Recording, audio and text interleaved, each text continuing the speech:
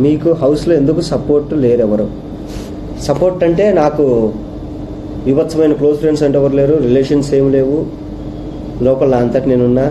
And నేను ఎవరితో అంత అటాచ్మెంట్ లేను. ఎందుకంటే నేను ఎవరితోనో బాగా క్లోజ్గా ఉండి సడన్గా వాళ్ళు ఎలిమినేట్ అయ్యి అప్పటిదాకా రోజు పొద్దున్న లేచినప్పటి నుంచి వాళ్ళతో ఉండి వాళ్ళతో తిరిగి సడన్గా వాళ్ళు బయటికి వెళ్ళిన తర్వాత నేను ఉండగలనా లేదా ఆ బర్త్డేని అంతా నేను క్యారీ చేయగలనా లేదా అనే చిన్న డౌట్ వచ్చింది. సో నేను డిసైడ్ అయింది ఏంటంటే ఎవరితో క్లోజ్గా ఉండకూడదు. ఫస్ట్లో బాబా మాస్టర్తో కొంచెం క్లోజ్గా ఉన్నా.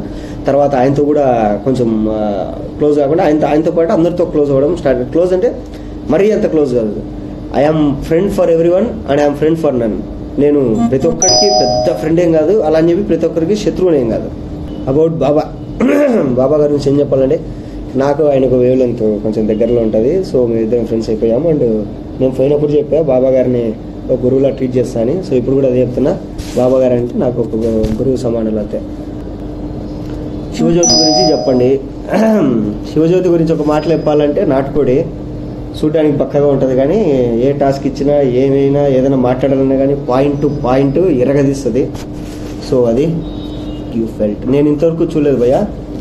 నా పాత ఎపిసోడ్లు కానీ ఇప్పుడు వస్తున్న ఎపిసోడ్లు కానీ నేనైతే చూడట్లేదు. ఎందుకు అంటే బిగ్ బాస్ అన్న ట్రాన్స్ని నా మైండ్లోంచి పూర్తిగా డిలీట్ అయిన తర్వాత ఒక రెండు మూడు నెలల తర్వాత మొత్తం మర్చిపోయిన తర్వాత నేను మళ్ళీ బిగ్ బాస్ ఫస్ట్ ఎపిసోడ్ నుంచి నీట్గా నిదానంగా అన్నీ చూస్తాను.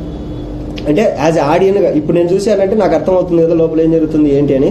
సో అది కాకుండా మొత్తం మర్చిపోయిన తర్వాత ఒక కామన్ ఆడియన్గా నేను మళ్ళీ బిగ్ బాస్ని ఒక రెండు నెలల తర్వాత మళ్ళీ ఫస్ట్ ఎపిసోడ్ నుంచి చూడాలన్నది నా కోరిక.